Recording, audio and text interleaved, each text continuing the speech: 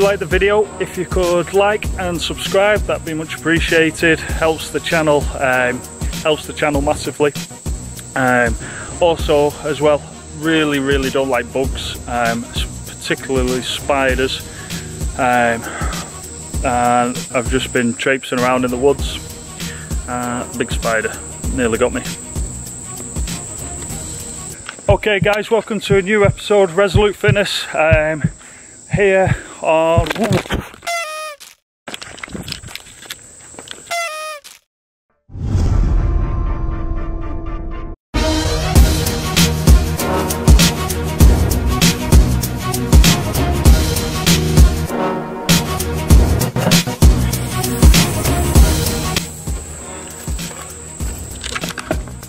Okay, welcome to a new episode Resolute Fitness.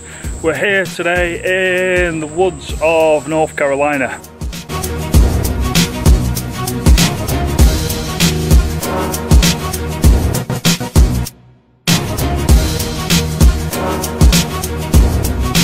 We're here today at Johnson Mill Preserve.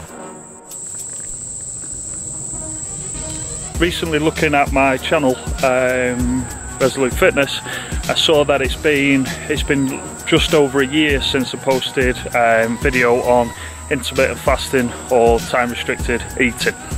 Uh, I did two two videos. One was one was back in California, and then the other was was in Preston. I think it was six weeks six weeks after um, I posted the first video.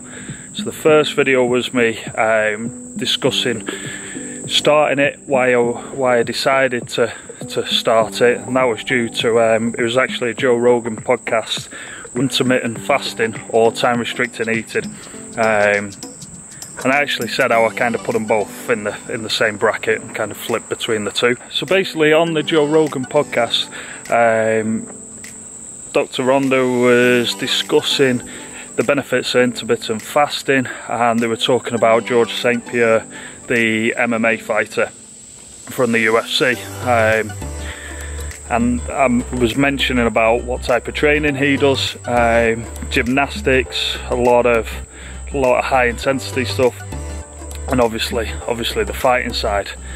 He was discussing how he didn't start eating until about one o'clock in the afternoon, and then he would eat later and then not eat anything. So I just wanted to update on on how it's been for me. So I, have been doing it now for for well over a year, uh, intermittent fasting, and I would say overall overall it's gone pretty well. So when I originally started it, I was I was in California, then I went back to England um, for for a few months, flew back out to Carolina, back to England for a few more months, and now I'm back in North Carolina again. So I haven't had a nice typical normal schedule so to speak. Work's changed quite a lot um, and I've also have, had to adapt my training schedules. I've gone from training in the morning, afternoon, in the evening and also to be honest the strictness on the strictness of the intermittent fasting has, has changed quite a lot. So there was some times when it was making sense for me to, to eat earlier and then stop eating um, like earlier on in the evening, sort of seven o'clock. And then and then there's been times when I can I've not been eating till like midday, one o'clock in the afternoon, and then eating eating later. So it's it's changed it's changed quite a bit. So currently currently I'm training quite early, well relatively early. So start training at eight o'clock. So typically now I'll wake up in the morning, won't really eat anything. Um, the only thing I'm having is coffee.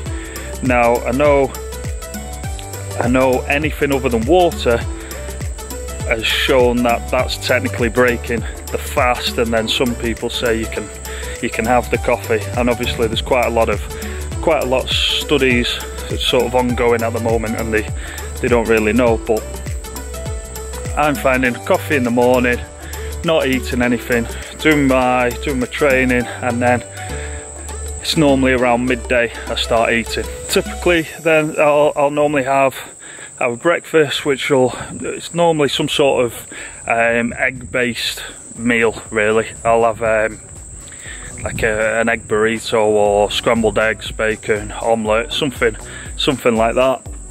Uh, if I'm feeling particularly hungry, I might have some have some cornflakes as well with that afterwards, and then that that normally does. Oh, got a bug on there. That normally does me then for for the majority of the day until about five six o'clock, and then I'll have my I'll have my dinner, and then normally that's that's about it. Obviously weekends weekends can vary a little bit. Um, just to going out in the evening, might eat a little bit later, or might snack a little bit later. But overall, that's that's what I'm kind of doing. So I'm on I'm on two meals, biggest breakfast, cooked breakfast, maybe a little uh, little cereal. Obviously, it's not the greatest thing in the world, but you know, been born in the 80s, cereal. Um, keep it plain, but um, so it's not the most sugary cereal, but normally cornflakes. So over the past year, I've definitely got um, definitely got bigger. I've probably probably about 15 pounds, 20 pounds heavier than this time last year. Um, mainly mainly muscle, so I, am quite happy with it at the moment. Um, and then probably October when the when the opens on, I'll start to I'll probably come down about five pounds. So to recap, been doing the intermittent fasting now for one year and overall enjoyed it. It's not always been perfect. I, when I originally started, I, I wasn't eating enough. Now I've started understand, I've started to understand my own body, started to understand um, how many calories I need, how much protein, how much fat.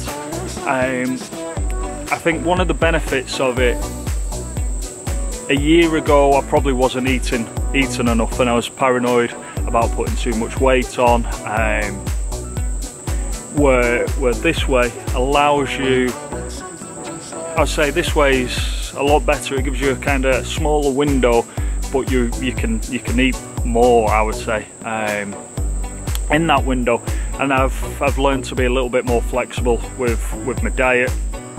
Um, I also said on the second video, might put a little bit of a clip in about um, I started to get different cravings. One of the cravings was um, was beer. Started craving beer. However, there has been some interesting uh, little side effects. So, hunger-wise, I've been craving different things. Beer being the main one. Uh, so I'll be interested. Never, never drank that before. Um, normally vodka and stuff like that.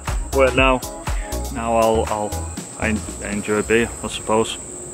Um, and I, I, think that a lot of that's got to do with with the calories. Um, but I probably just wanted more cal calories. What I want people to take away from this is I, have watched a, a, lot of videos on intermittent fasting and I've, I've read a lot of, of people doing it and people tend to beat themselves up if if they can't do it really strict. So if they go an, an hour too long or an hour too short, um, I would say honestly don't don't really matter. Mine's mine's changed massively. There's been some times I've been super super strict, and then there's been there's been times where I've just needed to to let go and just kind of enjoy in, in, enjoy eating for whatever period of time.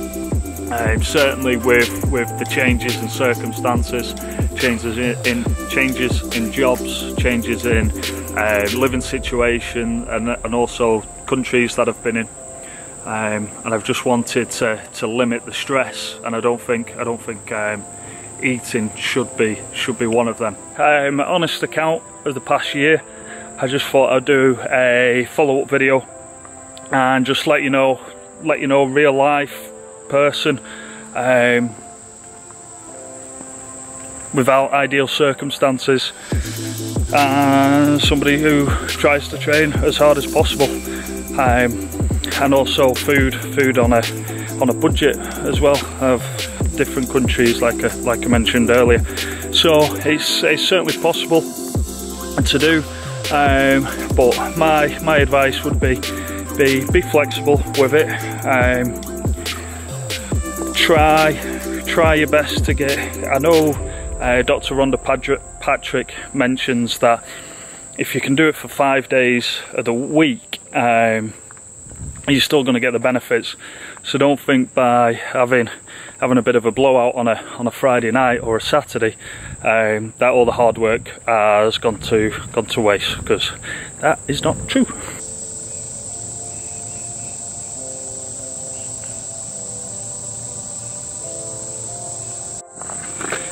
Right, that's a wrap from me. Um, all I've been doing is walking and it's so humid, so humid. Um, yeah, I'm done. Right, thank you for watching and to the next video. Peace. Boom. Turn this off.